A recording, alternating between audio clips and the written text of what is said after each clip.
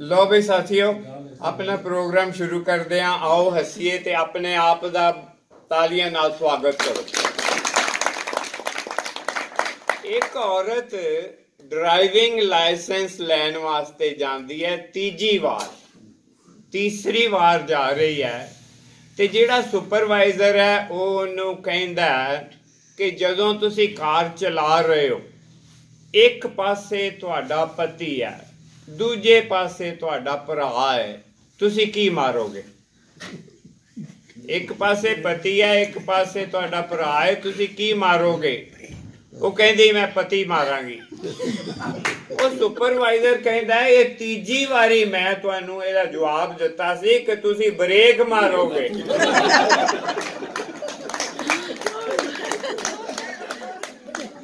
ਇੱਕ ਮੁੰਡੇ ਦਾ ਵਿਆਹ ਸੀ। ਤੇ ਉਹ ਬੜਾ ਉਦਾਸ ਬੈਠਾ ਹੋਇਆ ਸੀ। ਅੱਜ ਹੀ ਵਿਆਹ ਸੀ ਤੇ ਅੱਜ ਹੀ ਬੜਾ ਉਦਾਸ ਸੀ। ਉਹਦਾ ਦੋਸਤ ਕਹਿਣ ਲੱਗਿਆ, ਯਾਰ, ਵਿਆਹ ਹੈ, ਤੇਰਾ ਉਦਾਸ ਕਿਉਂ ਹੈ? ਕਹਿੰਦਾ, ਯਾਰ, ਇਸ ਤਰ੍ਹਾਂ ਹੋਇਆ ਵੀ ਕੁੜੀ ਵਾਲੇ, ਕੁੜੀ ਦੀ, ਕੁੜੀ ਦੇ ਬਾਪ ਨੇ ਮੇਰੇ ਬਾਪ ਨਾਲ ਗੱਲ ਕੀਤੀ ਹੈ ਤੇ ਕਿਹਾ ਹੈ ਕਿ ਬਰਾਤ ਵਿੱਚ ਬਰਾਤੀ ਘੱਟ ਲਿਆਣੇ ਨੇ। ਹੁਣ ਮੈਨੂੰ ਇਹ ਨਹੀਂ ਪਤਾ ਲੱਗਦਾ, ਮੈਨੂੰ ਲੈ ਕੇ ਜਾਏਗਾ ਕਿ ਨਹੀਂ?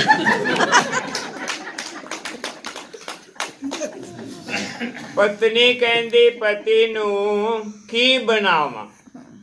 ਕੀ ਬਣਾਵਾਂ? ਪਤੀ ਕਹਿੰਦਾ, ਬਾਤ ਦਾ ਬਤੰਗੜ ਬਣਾਉਣ ਤੋਂ ਬਗੈਰ ਜੋ ਮਰਜ਼ੀ ਬਣਾ ਲੈ।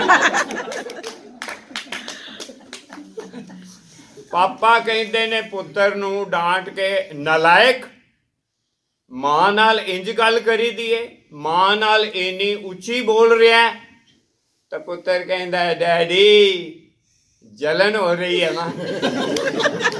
ਕਿਉਂਕਿ ਜੋ ਮੈਂ ਕਿਹਾ, ਉਹ ਤੁਸੀਂ ਨਹੀਂ ਕਹਿ ਸਕਦੇ।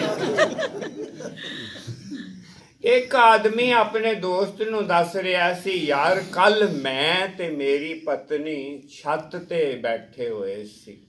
ਬੜੇ ਚੰਗੇ ਮੂਡ ਵਿੱਚ ਸੀ ਤੇ ਮੈਂ ਆਪਣੀ ਪਤਨੀ ਦੀ ਤੁਲਨਾ ਚੰਨ ਨਾਲ ਕਰ ਦਿੱਤੀ। ਮੈਂ ਕਿਹਾ, ਤੂੰ ਤੇ ਚੰਨ ਤੋਂ ਵੀ ਸੋਹਣੀ ਆ। ਚੰਨ ਐਸਾ ਜਲਿਆ, ਐਸਾ ਸੜਿਆ, ਸਾਰੀ ਰਾਤ ਸੜਦਾ ਰਿਹਾ, ਸਵੇਰੇ ਸੂਰਜ ਬਣ ਕੇ ਨਿਕਲਿਆ। ਇੱਕ ਆਦਮੀ ਸਾਧ ਕੋਲ ਗਿਆ, ਜਾ ਕੇ ਕਹਿੰਦਾ, ਬਾਬਾ ਜੀ ਬਾਬਾ ਜੀ, ਮੇਰੀ ਪਤਨੀ ਮੈਨੂੰ ਪਿਆਰ ਨਹੀਂ ਕਰਦੀ। ਉਹ ਕਹਿੰਦਾ, ਲੈ, ਇਹ ਤਵੀਤ ਲੈ ਜਾ, ਇਹਦੇ ਨਾਲ ਤੇਰੀ ਮੁਸ਼ਕਲ ਦਾ ਹੱਲ ਹੋ ਜਾਏਗਾ। ਦੋ ਕੁ ਮਹੀਨਿਆਂ ਬਾਅਦ ਬਾਬੇ ਨੂੰ ਮਿਲਿਆ ਤੇ ਕਹਿੰਦਾ ਕਿ ਬਾਬਾ ਜੀ, ਪਤਨੀ ਤਾਂ ਪਿਆਰ ਨਾਲ ਨਹੀਂ ਗੱਲ ਕਰਦੀ, ਪਰ ਗਵਾਂਢਣ ਬੜਾ ਪਿਆਰ ਨਾਲ ਗੱਲ ਕਰਦੀ ਹੈ। ਬਾਬਾ ਕਹਿੰਦਾ, ਚੱਲ, ਇਹ ਫੈਕਟ ਨਹੀਂ ਹੋਇਆ ਤਾਂ ਸਾਈਡ ਇਫੈਕਟ ਤਾਂ ਹੋ ਗਿਆ ਨਾ। ਖੁਸ਼ ਰਹੋ, ਖੁਸ਼ਹਾਲ ਰਹੋ, ਹੱਸਦੇ ਰਹੋ।